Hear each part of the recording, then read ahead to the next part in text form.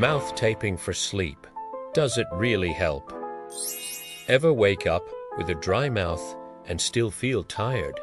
That often happens when you breathe through your mouth while sleeping. What is mouth taping for sleep?